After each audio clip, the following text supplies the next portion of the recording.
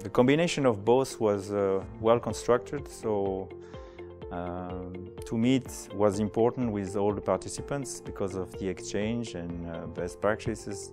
And the online, well, it's, it's useful to, to work online somehow because you can organize yourself. Uh,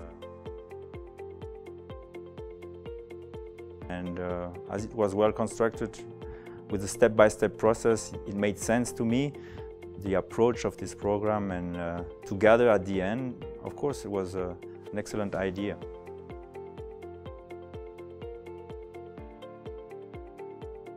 Professionally, it will be a great support for me for the future in terms of uh, advising clients because that's what I do and uh, speak with the main uh, stakeholder in, in sustainable finance so uh, professionally, definitely it's a, it's a plus. There's a great potential to do more and better uh, in the sustainable world.